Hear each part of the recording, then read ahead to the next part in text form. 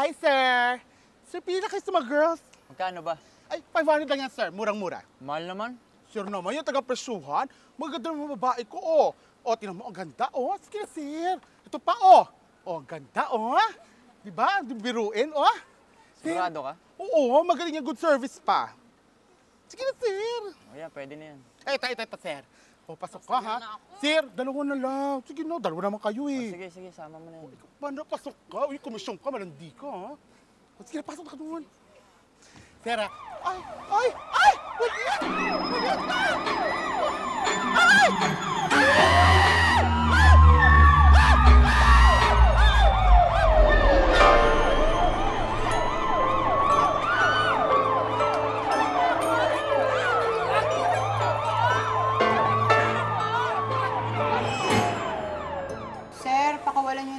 sir. Sige na po, sir. Umaareglo ka ba? Sige na, sir. Maawa na po kayo sa akin. O di sige. Magkano? Ha? Wala po akong pera eh. Wala pa akong customer eh. Pambihira din naman. oh. Sa lahat ng nakita kong maareglo, ikaw ang walang panlagay. Pero alam mo, madali akong kausap. Pwede natin pag-usapan yan. Alam mo na siguro ibig ko sabihin. Ano? Kung ayaw mo, diwag. Kung kani-kanino nga lang kayo nagpapaano eh. Bilis na, baka magbago pa isip ko. Ano po yun, sir? Anong ano? Tsaka sino ka ba? Ano kailangan mo rito? Taga-bagong Kalayan Collective ako. May narinig kasi ako na may hinuli kayong babae. Gusto ko po sanang hingin yung custody niya. Ano? At ba't naman namin ibibigay? Pwede. Umalis-alis ka sa harapan ko. Halika na.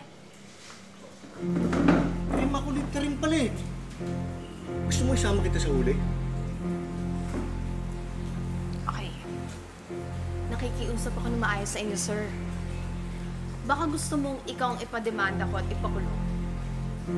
Ayon kasi sa batas, hindi dapat kayo nagdedetain ng kahit sino mang prostitute. At hindi rin dapat kayo nanguhuli ng biktima ng prostitusyon. Kaya nga biktima eh.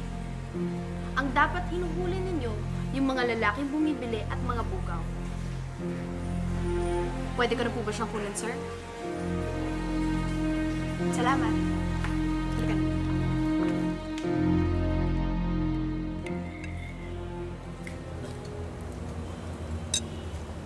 Alam mo, Ruby, dapat alam mo ang mga karapatan mo bilang isang babae. Ngayon ko nga lang nalaman na meron pala ako niyan. Tandaan mo, hindi ka kriminal sa ganitong klaseng sitwasyon. Hindi biktima. Okay. Pero hindi ibig sabihin nito na sinusuportahan namin ang industriya ng prostitusyon. Siyempre, nandito lang kami para tulungan kayong magbagong buhay. Sabi ng bugaw ko, mag upgrade na raw ako. Paano pag-upgrade? Ipapasok daw niya ako din sa isang club sa Quezon Avenue. Doon malaki ang kita. Naiyaman daw kasi mga customer. Pag nakikita ko nga yung mga babae nagtatrabaho doon, ang gaganda ng cellphone, may mga alahas. Magaganda sila. Tapos yung iba, nakatira pa sa kondo. Pagka tapos nga ng trabaho nila, pag-gimik-gimik lang sila. At yung iba pa doon, may mga kotse. O, 'di ba? Ayos ba? Bakit? Sa tingin mo ba tao magiging tingin sa'yo ng mga tao magbibigay sa'yo ng ganon? Alam mo sa huli, yung mga bagay na gustong-gusto mo, yung mga makikinang na laruan na yan, bagay lang din ang magiging tingin sa'yo ng mga tao. At bagay din ang magiging tingin mo sa sarili mo. Wala naman kami mapupuntahan eh. Ruby, hindi naman sa nangengialam ako ha. Pero sinasabi ko lang sa'yo katotohanan. Wala kang karapatang pagsabihan ako ng ganyan. Hindi mo alam ang pinagdaanan ko. Alam ko, Ruby. Dahil ganyan din ang pinagdaanan.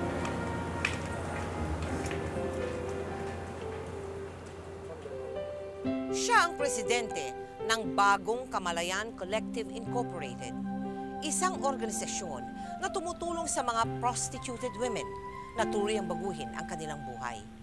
Subalit bago niya makamtan ang marangal na buhay na meron siya ngayon, naging biktima siya ng isang madilim at mapait na nakaraan.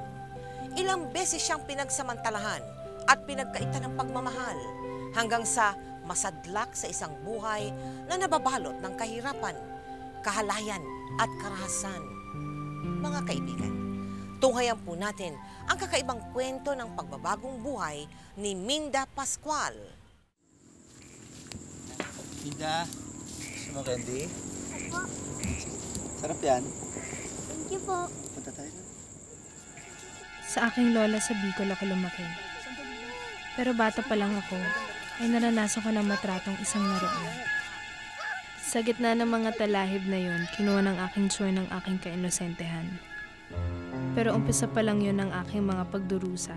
Dahil nang namatay ang aking lola at mupunta ako sa aking nanay sa Maynila, ay naranasan ko naman ang matrato ng parang hayop. Linda! Halika ka rito! Bakit mo sinunod ng paboritong polo ng tatay Mike mo? Hindi ko po Hindi sinasadya. mo sinasadya. Tanga mo talaga. Tanga-tanga mo talaga. Tama na yan, tama na yan, tama na yan. Total, luma na yung polo, ha? Tsaka sunog na, ano pa magagawa mo? Gawin mo na lang basahan.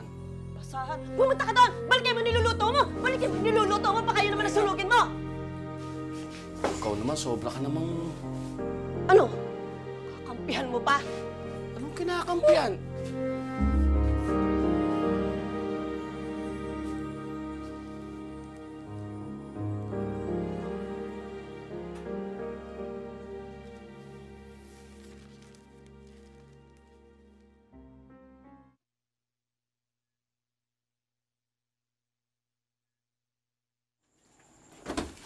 liga dito.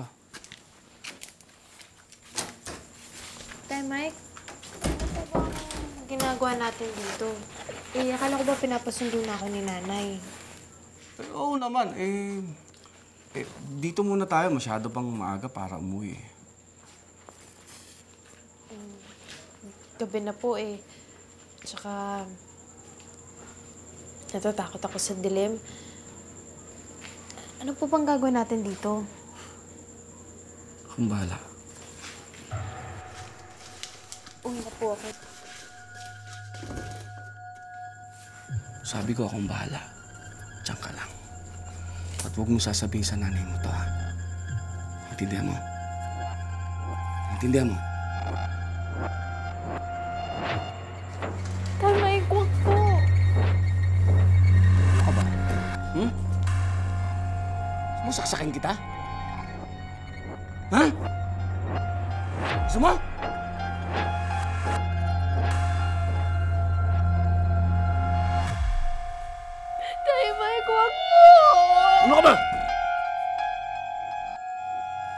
Sa ito. Hoy! Kung papalag, pag tumulag ka, tuluyan kita. Naintindihan mo?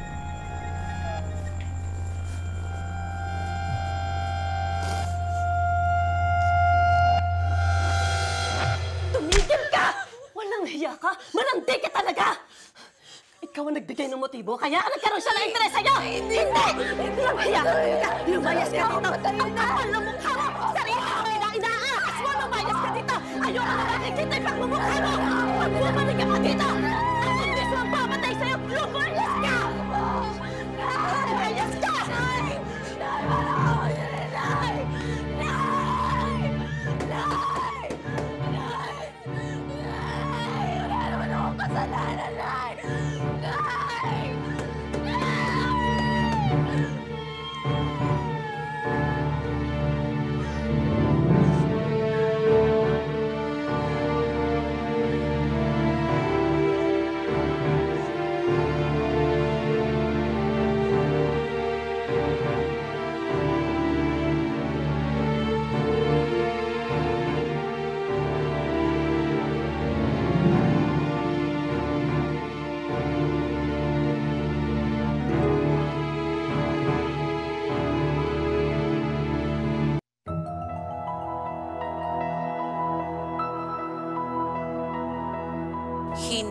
Pinaniwalaan si Minda ng kanyang sariling ina nang magsumbong ito sa pagsasamantala at pananakot na isinagawa sa kanya ng kanyang amain.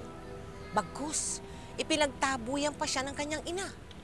Bagay na nagdulot sa kanya ng labis na puot at pagkaawa sa sarili. Kung ano-anong trabahong napasok ko noon. Katulong, sales lady, factory worker. Sa bawat palit ng trabaho, tila nakakabit ang karahasan sa mga babae. Sa tuwing matatapos rin ang aking kontrata sa mga trabahong yon, ay hindi ko malaman kung saan ako pupunta. Nawala ng direksyon ang aking buhay. Hanggang sa isang pag-asang dumating. Okay yung sinasabi ko sa yung trabaho sa Olongapo. Sigurado kong magiging regular na sales lady ka ron. Nako, okay nga po yun. Ang hirap kasi ng contractual eh.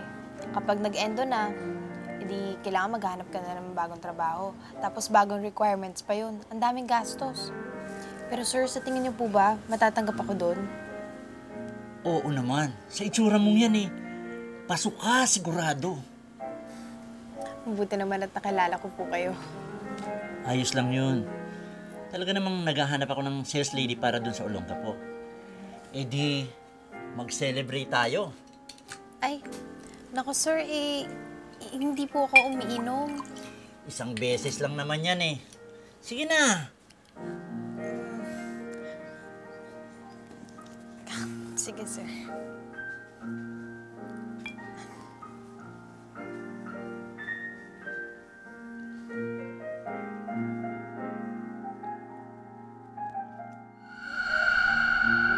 Linda!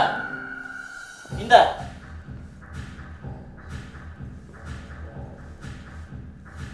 Ka na.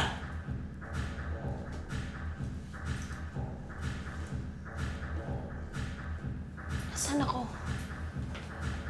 Ano ba yung pinainom niyo sa akin kagabi? Nandito ka na sa Olongapo. Diba? Gusto mo ay trabaho? Dito, mag-uumpisa ka na. O sige, suot mo yan.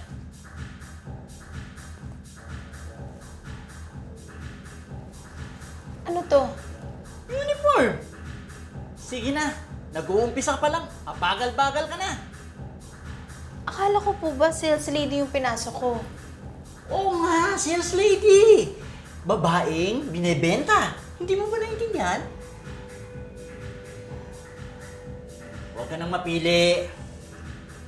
Ayos dito. Malaki ang kita. Saka, namuhunan ako sa pamasahe mo. Na maarte. Sige, nakabihis ka na eh, lumabas ka na lang ha.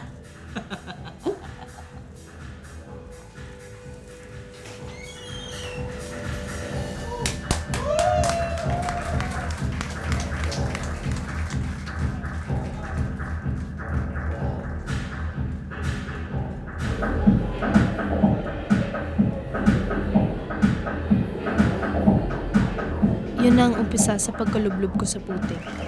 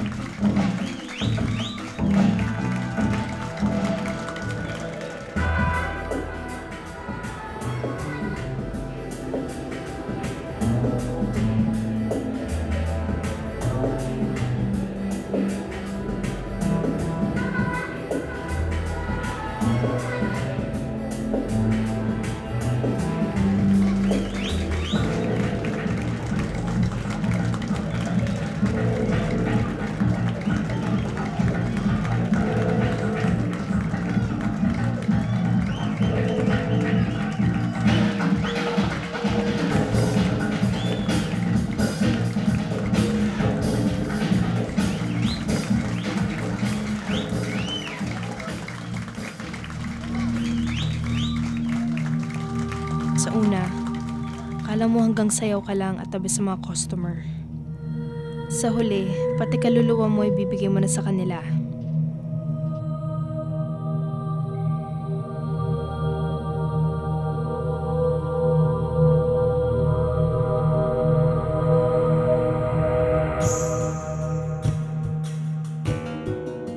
Pero parang baliwala to sa'yo dahil sa mga pinagdaanan mo.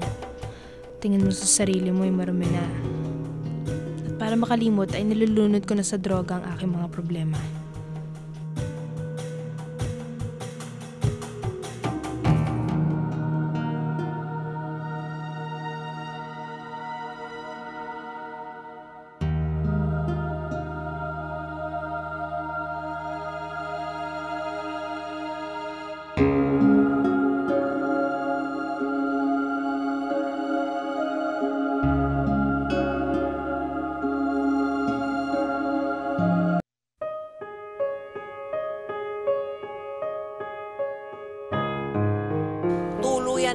Napariwara si Minda, nasadlak sa buhay ng isang prostitute.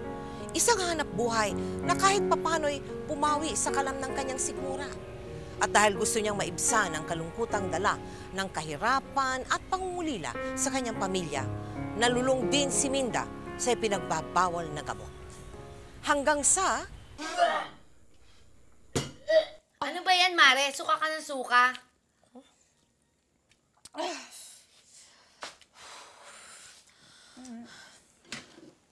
Nga eh, nasira yata yung tiyan ko sa kakainom eh.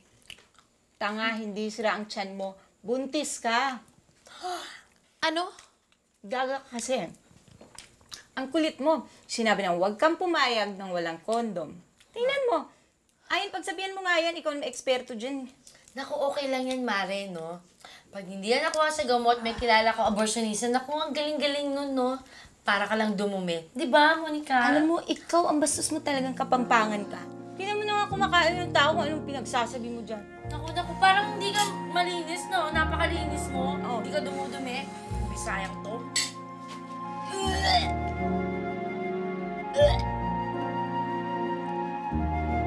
Bukod sa pagbenta ng aking katawan, di mabilang ang mga sanggol na aking pinalaglag. Pero may mga buhay na sadyang lumalaban. Sa Olonga po ay nagkaroon ako ng dalawang anak. Dalawang souvenir mula sa mga servicemen. Ang aking panganay, binibili ng kanyang ama sa akin, pero hindi ko nagawang ibigay.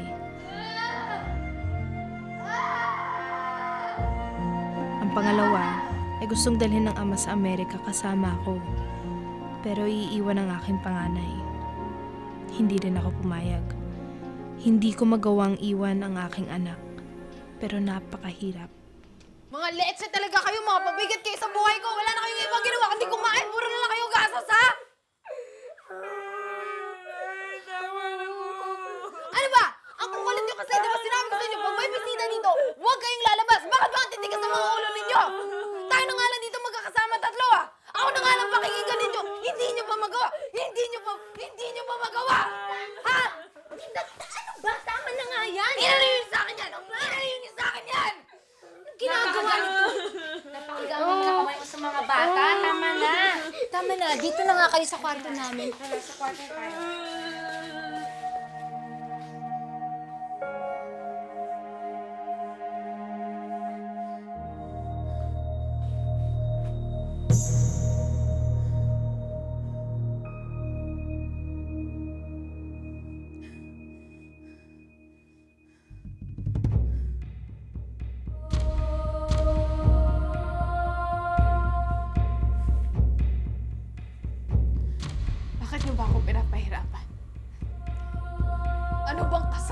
Ginawa ko sa inyo? Wala akong ginagawang masama!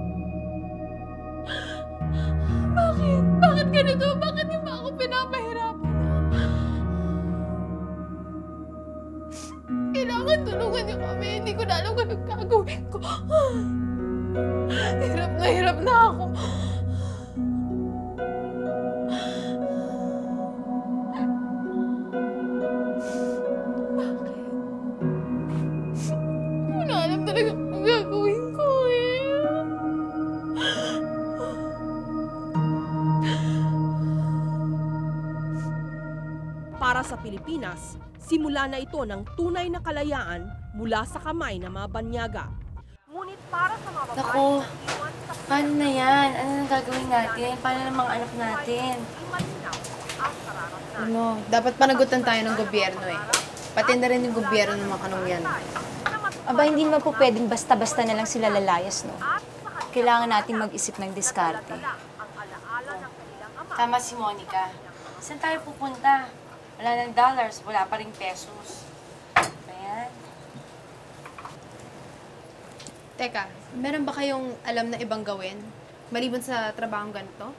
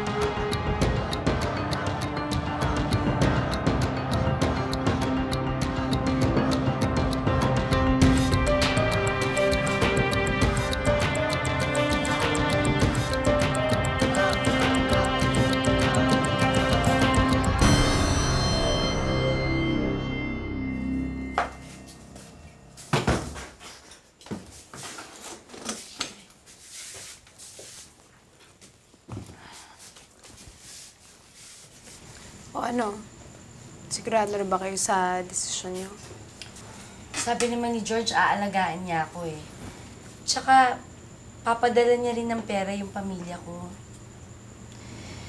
Mahal ako ni George. Sigurado na ako. Ako naman, buti nga nabola ko yung negrong si Carter na isama ako. Alam mo, wala talaga akong maisip na buhay pag wala na yung mga kano dito. O ikaw, anong plano mo? Ko alam eh. Bahala na. E paano yung mga anak mo? Kinausap mo ba yung mga ama nila? Hindi ko na nga mahagilap eh. Siguro, ayun rin nila akong kausapin. Eh, di ba nga pumunta pa tayo dun sa rally sa base para humingi ng tulong sa suporta ng mga anak ng kano. Naku, alam mo walang mangyayari dun. Kasi naman, kung tinanggap mo yung offer ng tatay ni Iman, nadalhin kayo sa Amerika, edi sana andun na kayo. Naman si Henry? Sa bagay. Ano, okay ka na ba? Oo, ayos na ako.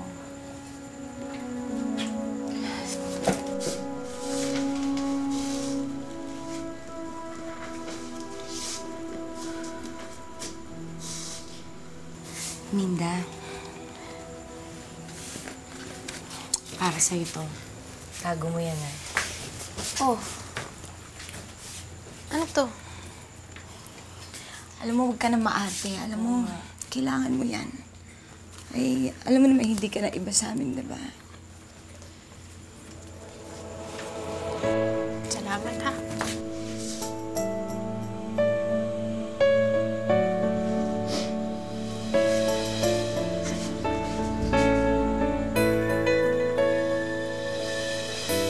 Basta, ano ah. Basta ingat kayo dun ha. Tsaka magsulat kayo ah. Ikaw, tigil mo yung pagdodroga mo. Hawa ka naman sa mga anak mo ha. Huwag kang mag-alala, Minda. Balang araw magbabago rin lahat.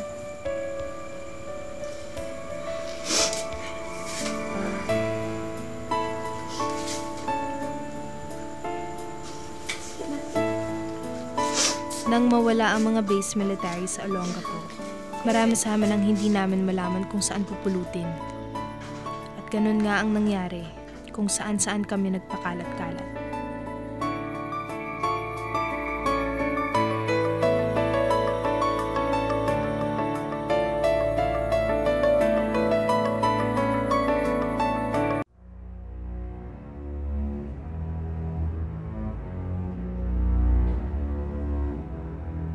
Umalis ako sa Olongapo upang magsimula muli. Sumali ako sa mga training ng women's groups at nagpa-counseling. Kasunod nito ay isa na namang sanggol na ang aking nilabas sa mundo.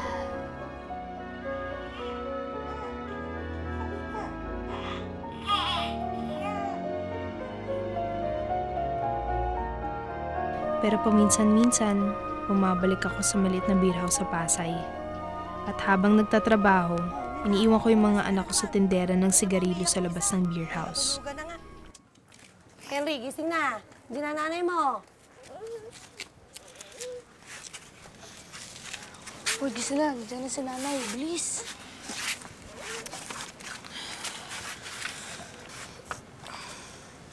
Oh, ano? Bakit ka umiyak dyan, ha? Nay, nagugutom na po ako. Ako rin po, Nay. Yung binigay po ni Aling Linda na candy ang hinapunan namin eh. Daan po tayo sa ligawan, Nay.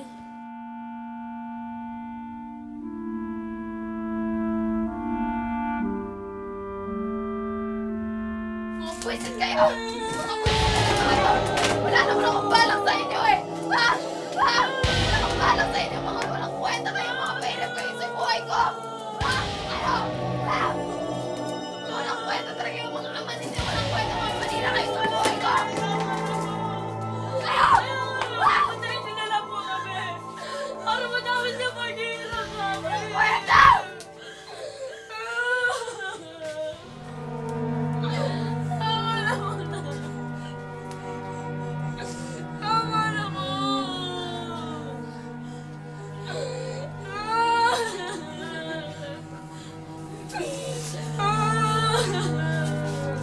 Ko akalain na gano'n na palang hirap na dinadanas ng aking mga anak. Parang silang nagligtas sa akin. Imbis na ibili ko ng droga, ibinili ko na lang ng mga pangangailangan nila. Dito ko sinubukang tahakin ang daan papunta sa pagbabago.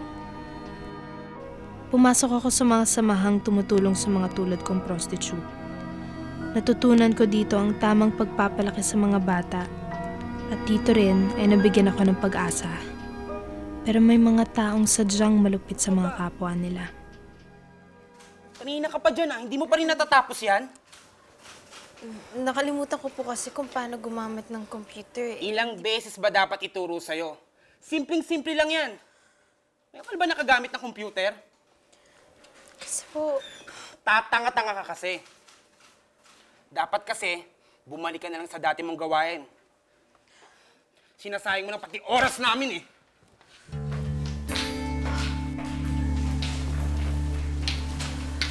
Hayaan mo na yun. Okay ka lang ba? Oo, ganyan talaga yun eh. Mababa sa mga tulad natin. Makalipas ang ilang taon, unti-unti nang nagkaroon ng direksyon ng buhay ni Minda nang magpa siya itong lumapit sa mga organisasyong nagbibigay ng tulong sa mga prostitute na tulad niya. Tinlarikuran na niya ang dating hanap buhay at nagtrabaho sa grupong kanyang kinabibilangan. Subalit hindi doon nagtatapos ang mga pagsubok sa buhay ni Minda. Pilit siyang bubulabugin ng kanyang masalimuot na nakaraan. Oh, kumain na kayo ah. Asa ba yung Kuya Henry nyo? Hanggang ngayon wala pa rin. Oh. Sige, kuha lang kayo ah. Ayun na po siya. Henry, kanina pa kita hinahanap ah. Saan ka ba galing?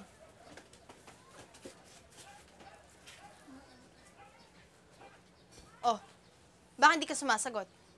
Ano bang pakialam mo? Huwag mo akong sisigawan dahil nanay mo pa rin ako. Ano bang problema mo? Tingnan mo pa! Tingnan mo nga kami! Iba-iba ang itsura namin! Ako ang maputi! Si Ima, negro! Si Jenny, di mo malaman kung ano! Nakakahiya! Totoo nga sinabi nilang bayarang babae ka dati!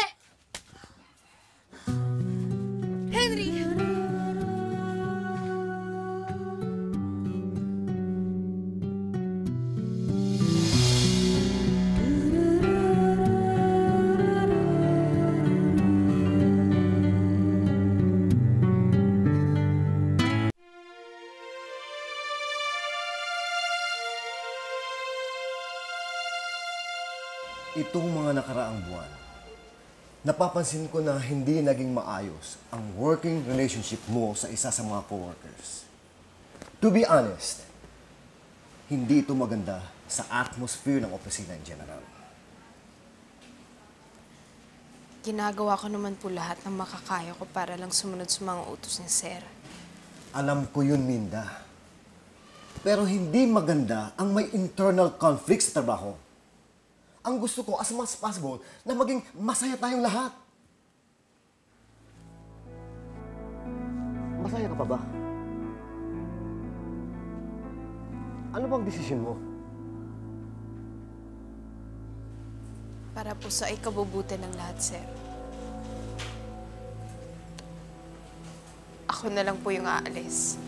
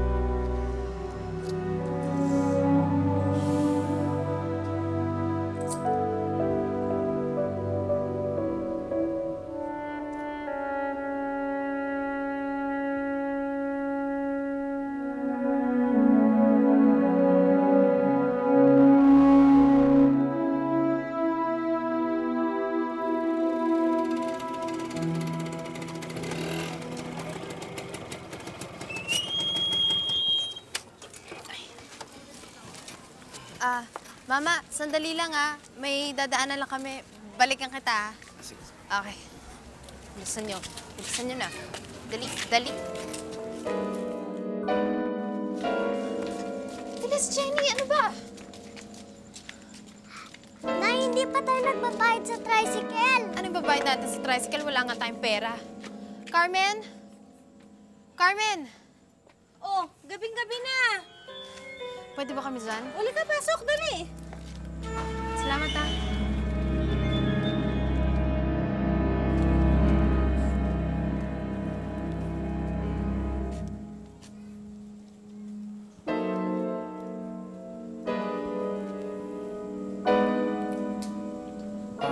Na 1, 2, 3 ako ah.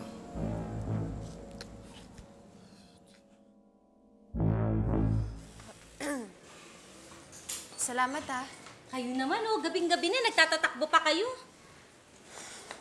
Eh, kung hindi dahil sa'yo, malamang sakali talaga kami matutulog. Ikaw talaga, Mindo. Sino pa bang magtutulungan kung di tayong iisang pinanggalingan? Basta, pasensya na. Kailangan nyo talagang umiska po pagdating ng umaga eh. Baka kasi makita kayo ng principal na itong school eh. Matanggal ako sa trabaho. Oo, oh, naiintindihan ko. O sige, magpahinga na kayo. May natira akong lugaw dyan. Kung nagugutom kayo, kainin nyo na lang. Magsalo-salo na kayo, ha? Ah, sige. O sige, bahala na kayo dyan. Salamat ah. Oh. Ah. Tulak natin to ah. Okay. Parang sinusubukan ako ng Diyos. Pagkatapos akong layasan ng aking anak at tanggalan ng trabaho, ay isa-isa niyang kinuhang lahat sa akin. Ang bubong na tinitirahan ko dahil wala na akong maibayad sa renta. Hanggang sa pagkain sa aming mesa. Ilang beses ako natuksong bumalik sa pagpuputa. Pero mas pinili ko pa ang mamalimos at umasa sa tulong ng iba. Ah,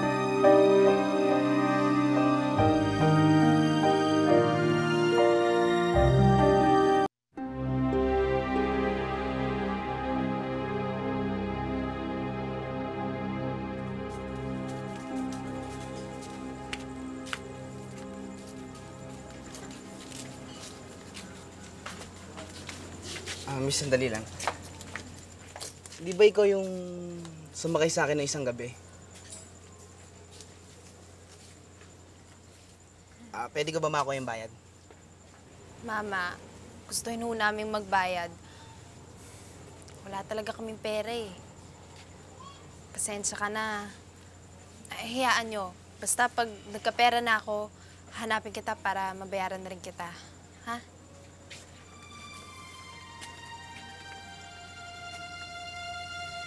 Sige na.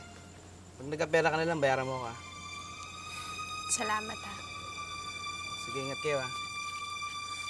Simula noon ay hinintay niya na kami tuwing gabi at sinasakay na walang bayad.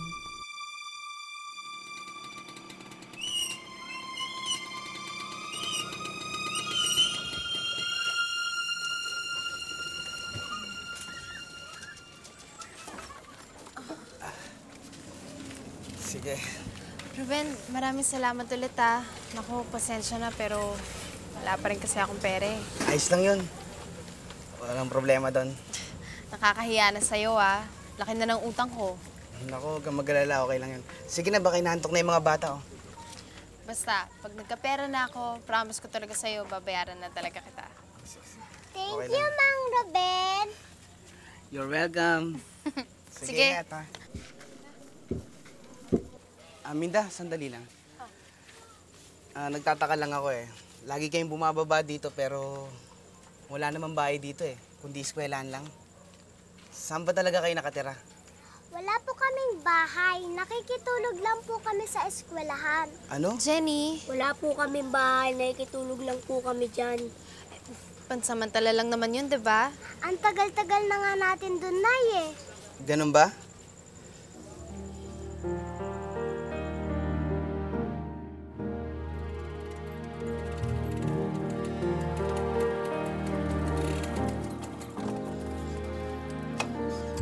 Higa. Pasok kayo.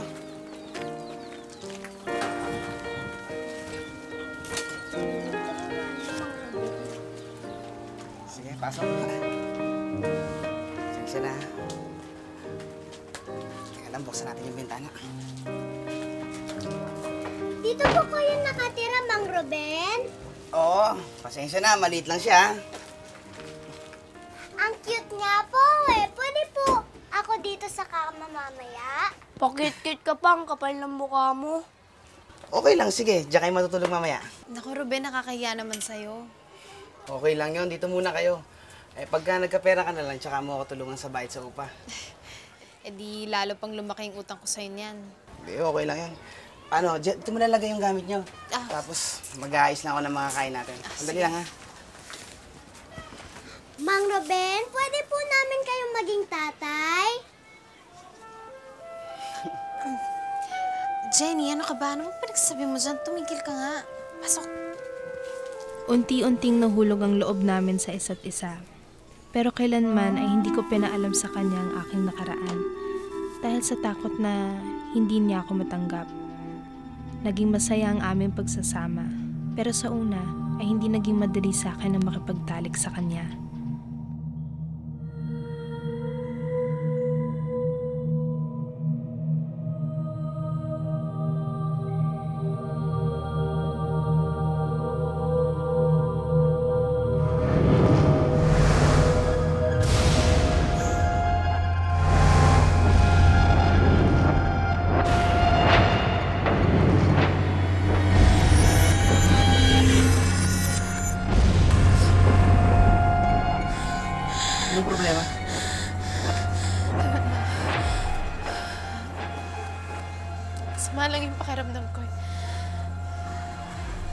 Sumabili kita ng gamot.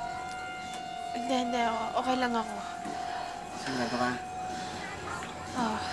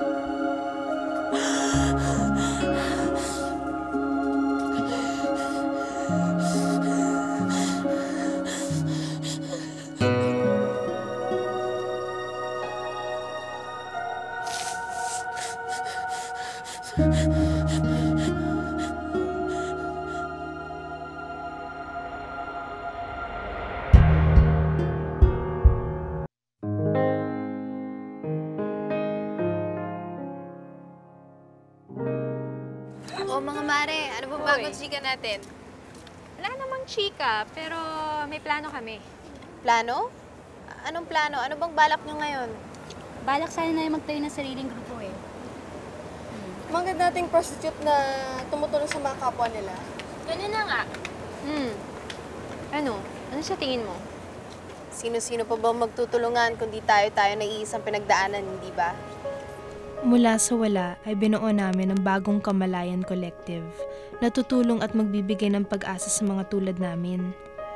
Pero hindi naging ganong kadali ang lahat. Ni hindi nga kami marunong gumawa ng sulat para sa solicitation at gumamit ng computer. Oh, Linda, anong ginagawa mo dyan? Um, naku, pasensya ka na. Matagal ba ako? Eh, ito nga eh, gumagawa lang kasi ako ng solicitation letter.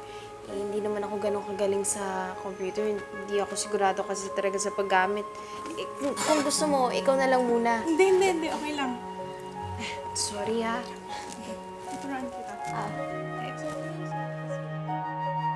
Bagamat nahirapan sa umpisa si Minda at ang kanyang mga kasamahan na buhuin at patakbuhin ang kanilang bagong tatag na organisasyon, hindi sila nawalan ng pag-asa.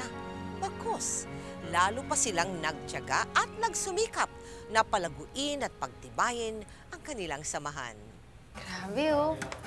Big time na big time na mga itsura ninyo ah. Hindi naman, Minda. Ikaw, kamusta ka na? Eto, okay naman ako. Eh, medyo kapos pa rin, pero kahit papano naman, nakakaraos naman kami. Ah, Monica, kamusta na kayo ni ano? Sino nga yun? Si ano? Sino yun? Si... Si Carter. Oo, si Carter. Oo, kamusta na kayo?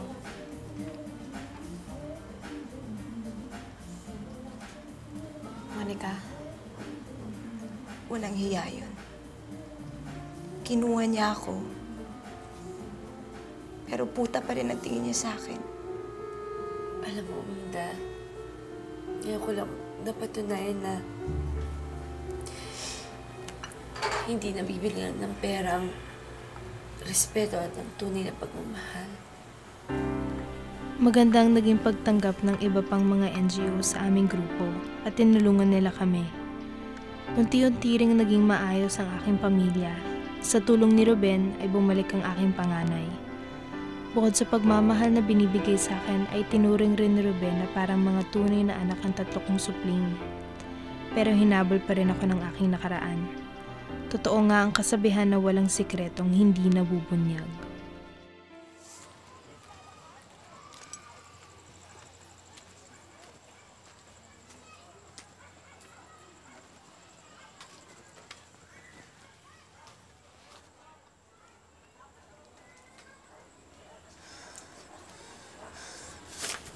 Ruben, bakit mo binabasa yung diary ko? Totoo ba yung mga nakalagay dito? Totoo ba na dati kang prostitute?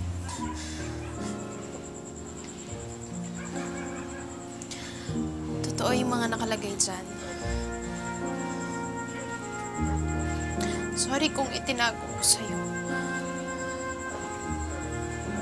Pero Ruben, gusto ko lang malaman mo na kaya ko lang naman ginawa yun kasi kasi mahal na mahal kita at ayoko mawala ka sa akin.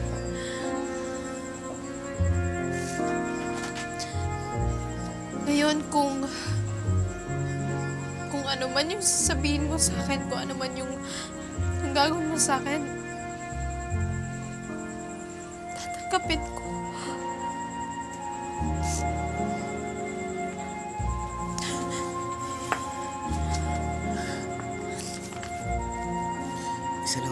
sabihin sa'yo. Lalo ka lang napamahal sa akin, Minda.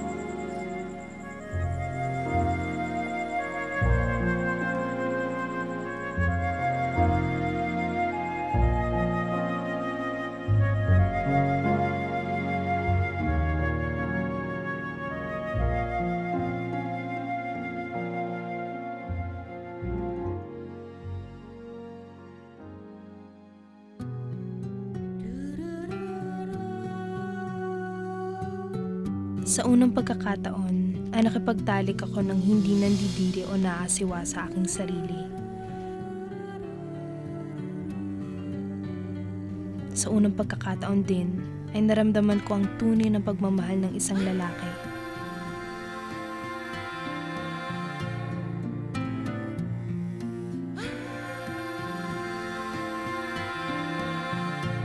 Sa unang pagkakataon ay naramdaman ko ang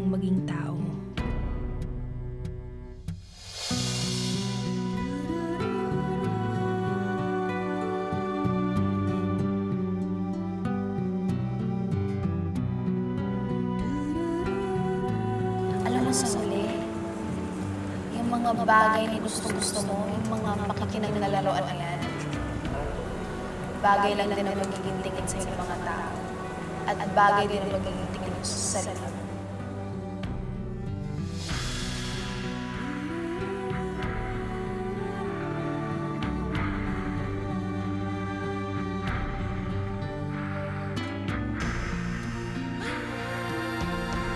pa rin ako matahimik dahil alam kong sa aking paligid ay nagkalat pa rin ang mga babaeng tinatratong laruan at naghihintay ng kaligtasan.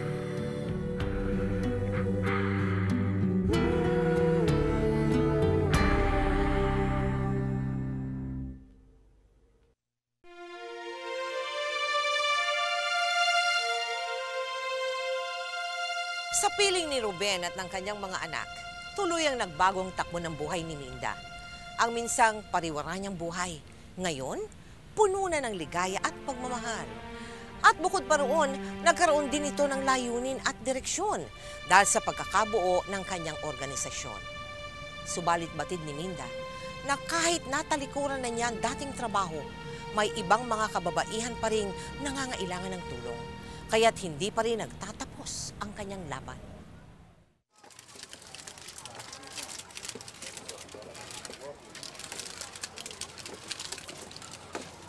Minda? Oh, Ruby. Anong ginagawa mo dito? Kayo, anong ginagawa niyo? Ito, livelihood program to. Gumagawa kasi kami ng sabon para pag medyo nakaipon na kami, balak namin magtayo ng isang laundry shop. Ah, ayos yan ah. Um, gusto mo tumulong ka rin? Pwede ba? Sino-sino ba naman na magtutulungan kundi tayo-tayo na iisang pinanggalingan, hindi ba? Turo ko sa'yo. Lika. Ah, girls, si Ruby. Sama ko dati. O yan, ah, ito, ito yung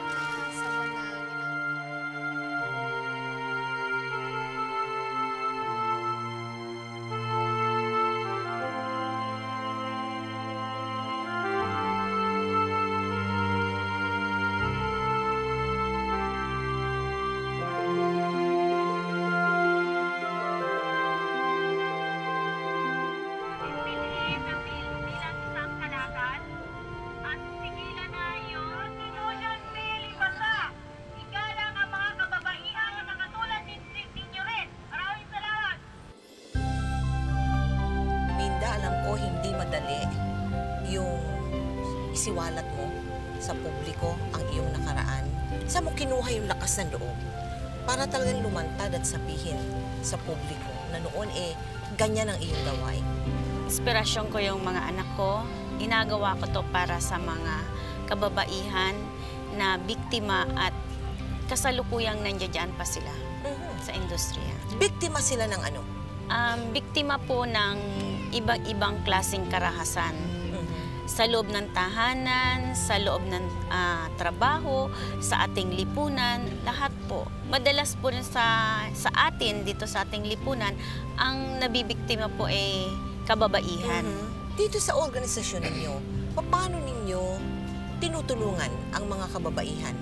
Ah, kami po eh pumupunta sa kalsada o sa loob ng bar upang sila ay kausapin at sabihin at sabihin sa kanila na kami ay nagbibigay ng iba't ibang klasing karapatan at ib- iba-ibang klasing usapin tungkol sa mga kababaihan. Mhm. Eh pero teka muna, kasi maraming nasasadlak diyang dahil sa kahirapan. Bakit mo nasasabi ngayon na ito'y paglabag sa karapatan ng babae. Samantalang voluntaryo siyang sumabak sa ganong klaseng hanap buhay. Siguro kailangan natin makita kung ano yung mga pinagdadaanan niya at kailangan siguro ugatin kung ano yung mga punto nito. Kasi sa aming pananaw, wala hong isang wala hong babae na nangarap na gusto sa ganitong klase. Pag sinabi nila na binayaran kita, kailangan gawin mo kung anong gusto kong gawin, ang turing sa'yo hindi tao, kundi hayop, gamit, o ganyan. Diyan sa iyong organisasyon, anong vision ninyo? Ah, makapagbigay alam sa mga kababaihang nandiyan pa at siguro yung matulungan namin na mabuo yung nawala na pagkatao sa kanila. Kumbaga yung, yung respeto, maibalik muli at yung mabuo yung sarili niya uli na bilang isang tao. Bakit, Minda? Ano ba nangyayari sa isang babae kapag ka ganyan ang iyong trabaho? Parang ang hirap mo iahon yung sarili mo pagka napunta ka doon. Kasi yung diskriminasyon sa'yo ng lipunan o yung pamilya mo pa hindi matanggap kapag ka nalaman na nandiyan.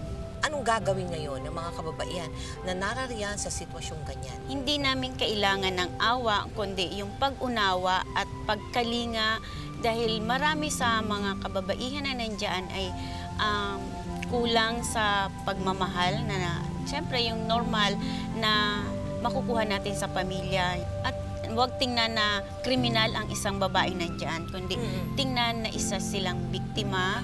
Dahil kung walang tao na nagdadala sa kanila dyan o nag, sinasabi nating nagbebenta, katulad ng mga nabubugaw, yung mga may-ari ng club, yung mga manager na yan, sila yung dapat sisihin. Dahil ang ginagawa nila parang, ang tingin nila sa babae kasi parang isang pagkain o isda na dinadala, tinatransfer. Ibinibenta. Binibenta. Ano naman ang payo mo doon sa mismong mga babae? Paano kung sagutin ka? Eh, saan ako kukuha ng ikabubuhay ko? Huwag kayong mawala ng pag-asa. Laging may pag-asa na nag-aantay. Meron pa rin tayong bukas na nag-aantay para sa atin. Siguro isa naming panawagan na sana yung gobyerno mabigyan kami ng oportunidad na makita na kami rin mismo ay bigyan nila ng pag-asa na minsan kasi nanggagaling din sa ating gobyerno yung pagdi-discriminate sa mga babaeng nandiyan dyan. Pero sa tansya mo ba, ah, maaaring isawatayan totally?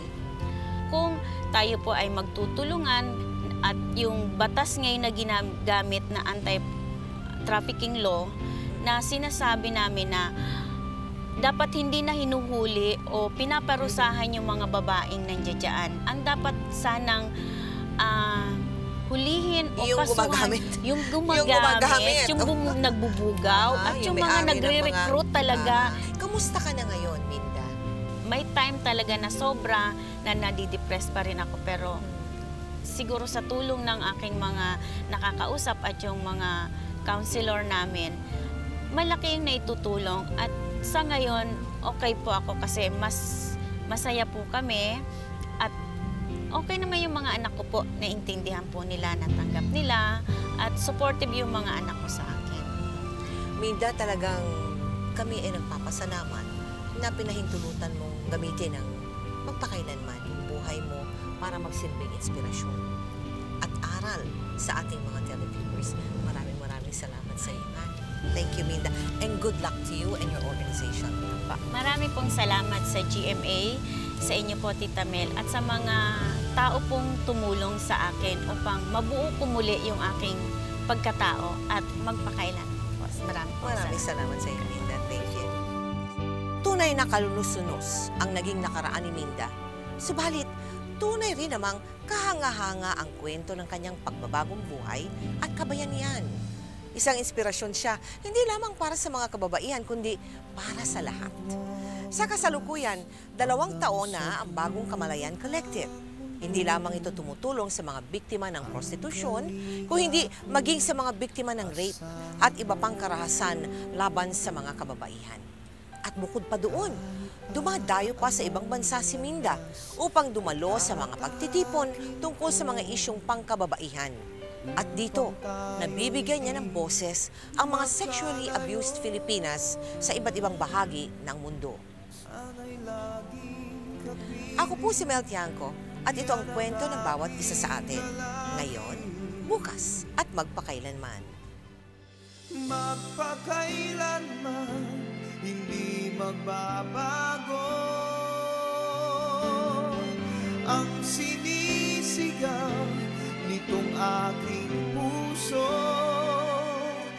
Magpakailanman, magpakailanman.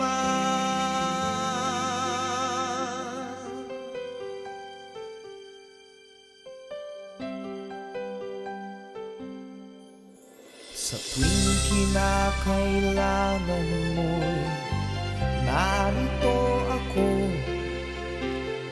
Handang dumamay sa iyong lingkod Habang buhay ay hinding-hindi maglalaho Ang inig natin ay aawit